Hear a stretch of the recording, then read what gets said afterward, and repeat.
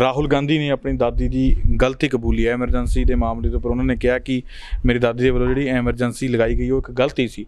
ਕਿਵੇਂ ਦੇਖਦੇ ਹੋ?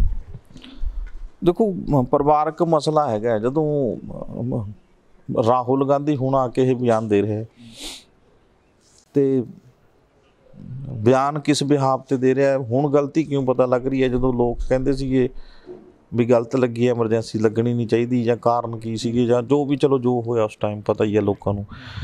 ਤੇ ਉਸ ਟਾਈਮ ਇਹ ਹੁਣ ਇੰਨੀ ਉਮਰ ਦਾ ਹੋ ਗਿਆ ਬੰਦਾ ਹੁਣ ਆ ਕੇ ਥੋੜੀ ਗਲਤੀ ਮੰਨੇਗਾ ਇਹ ਆ ਕੇ। ਹੁਣ ਜੇ ਚਲੋ ਮੰਨ ਲਈ ਕਿ ਗਲਤੀ ਹੋਈ ਆ ਠੀਕ ਹੈ ਪਰਿਵਾਰ ਹੁਣ ਆ ਕੇ ਕਿਉਂ ਮੰਨ- ਰਿਹਾ ਇਸ ਚੀਜ਼ ਨੂੰ?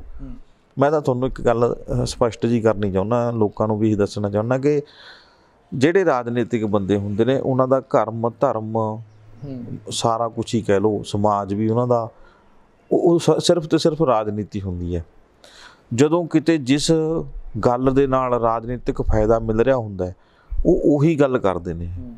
ਇਹ ਇੱਕ ਬਿਜ਼ਨਸ ਹੋ ਗਿਆ। ਪਹਿਲਾਂ ਇਹ ਸੇਵਾ ਹੁੰਦੀ ਸੀ ਕਿਸੇ ਟਾਈਮ ਸੱਚੀ ਮੁੱਚੀ ਜਦੋਂ ਜਦੋਂ 1 ਰੁਪਿਆ ਵੀ ਤਨਖਾਹ ਨਹੀਂ ਸੀ ਲੈਂਦੇ ਹੁੰਦੇ ਕੀ ਪ੍ਰਧਾਨ ਮੰਤਰੀ ਵਰਗੇ ਲਾਲ ਬਹਾਦਰ ਸ਼ਾਸਤਰੀ ਵਰਗਿਆਂ ਦੀਆਂ ਉਦਾਹਰਨਾਂ ਪਈਆਂ ਨੇ। ਜਾਂ ਐਮਐਲਏ ਜੇ ਹੁੰਦੇ ਸੀ ਜਿਹੜੇ ਇੱਕ ਰਾਜਪੁਰੇ ਦੇ ਨੇੜੇ ਐਮਐਲਏ ਉਹ ਵਿਚਾਰਾ ਗਰੀਬ ਹੈ ਹੁਣ ਵੀ ਸਾਈਕਲ ਤੇ ਹੈ ਉਹ ਬਜ਼ੁਰਗ ਹੋ ਗਿਆ।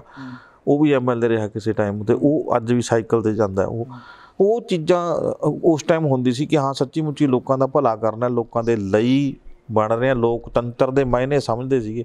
ਅੱਜ ਰਾਜਨੀਤੀ ਇੱਕ ਬਿਜ਼ਨਸ ਹੈ। ਇਸ ਨੂੰ ਜੇ ਲੋਕ ਇਹ ਸੋਚਦੇ ਨੇ ਵੀ ਫੇਰ ਕੀ ਹੋ ਗਿਆ ਗਲਤੀ ਮੰਨ ਲਈ ਜਾਂ ਇਦਾਂ ਦਾ ਬਿਆਨ ਹੋ ਗਿਆ ਹੁਣ ਤਾਂ ਕਹਿਤਾ ਦੇ ਰਾਏ ਦਰੁਸਤ ਇਹ ਨਹੀਂ। ਇਹ ਸਿਰਫ ਤੁਹਾਡਾ ਭੁਲੇਖਾ ਆ ਲੋਕਾਂ ਦਾ। ਇਹਦੇ ਵਿੱਚ ਵੀ ਪਿੱਛੇ ਨਾ ਪਿੱਛੇ ਕੋਈ ਮਕਸਦ ਹੋ ਸਕਦਾ। ਦੇਖੋ 2024 ਆ ਰਿਹਾ ਹੈ। ਜੇ ਪ੍ਰਿੰਕਾ ਗੰਗਾ ਨਹਾਉਂਦੀ ਆ ਜਾ ਕੇ ਇਸ਼ਨਾਨ ਕਰਦੀ ਆ ਉੱਥੇ ਜਾਂ ਉਹ ਚਾਹ ਦੀ ਪੱਤੀਆਂ ਤੋੜ ਰਹੀ ਹੈ ਠੀਕ ਹੈ। ਤੇ ਇਹ ਅੱਜ ਕਿਉਂ ਸੋਸ਼ਲ ਮੀਡੀਆ ਤੇ ਵਾਇਰਲ ਵੋਟਾਂ ਮੌਕੇ ਹੁੰਦੀਆਂ ਨੇ। ਉਹੀ ਅੱਜ ਕਿਉਂ ਜਾਂ ਹੇਮਾ ਮਾਲਣੀ ਜਾ ਕੇ ਖੇਤਾਂ 'ਚ ਫਸਲ ਵੱਢਣ ਦੇ ਉਹ ਫੋਟੋਆਂ ਪਾਉਂਦੀ ਹੈ ਤੇ ਜ- ਟਰੈਕਟਰਾਂ ਦੇ ਬੈਠ ਕੇ ਫੋਟੋਆਂ ਖਿਚਾ- ਖਿਚਾਉਂਦੇ ਨੇ ਜਾਂ ਲੋਕਾਂ ਦੇ ਵਿੱਚ ਜਾ ਕੇ ਬੈਠ ਕੇ ਤੁਸੀਂ ਉਹਦੇ ਗਰੀਬਾਂ ਦੇ ਘਰਾਂ ਦੇ ਵਿੱਚ ਖਾਣਾ ਖਾ ਲੈਂਦੇ ਹੋ ਤੇ ਜਾਂ ਲੋਕਾਂ ਨੂੰ ਜੱਫੀਆਂ ਪਾਉਂਦੇ ਹੋ ਗਰੀਬ ਲੋਕਾਂ ਨੂੰ, ਜਿਹੜੇ ਜ- ਜਿਨ੍ਹਾਂ ਦਾ ਤੁਸੀਂ ਸਵਾਰਨਾ ਹੈ ਤੁਸੀਂ ਆ ਕੀ ਸ਼ੋਅ ਸ਼ੋਅ ਕੀ ਕਰਨਾ ਚਾਹੁੰਦੇ ਹੋ? ਉਹਨਾਂ ਦੀ ਗਰੀਬੀ ਦਾ ਮਜ਼ਾਕ ਉਡਾਉਣਾ ਚਾਹੁੰਦੇ ਹੋ? ਜਾਂ ਤੁਹਾਡੀ ਆਪਣੀ ਨਲਾਇਕੀ ਦਿਖਾਣੇ ਵੀ ਤੁਹਾਡਾ ਵੀ ਇਹੀ ਹਾਲ ਕਰ ਦਾਂਗੇ, ਲੋਕਾਂ ਨੂੰ ਦੱਸਣਾ ਚਾਹੁੰਦੇ ਹੋ? ਵੀ ਆਹ ਦੇਖੋ, ਇਹ ਵੀ ਭਾਰਤ ਦੇ ਵਿੱਚ ਰਹਿੰਦੇ ਇਹਨਾਂ ਦਾ ਹਾਲ ਤੁਹਾਡੇ ਤੁਹਾਨੂੰ ਵੀ ਇਹਨਾਂ ਵਰਗਾ ਕਰ ਦਾਂਗੇ ਜੇ ਵੋਟ ਨਾ ਪਾਈ। ਇਹ ਦੱਸਣਾ ਚਾਹੁੰਦੇ ਹੋ ਤੁਸੀਂ?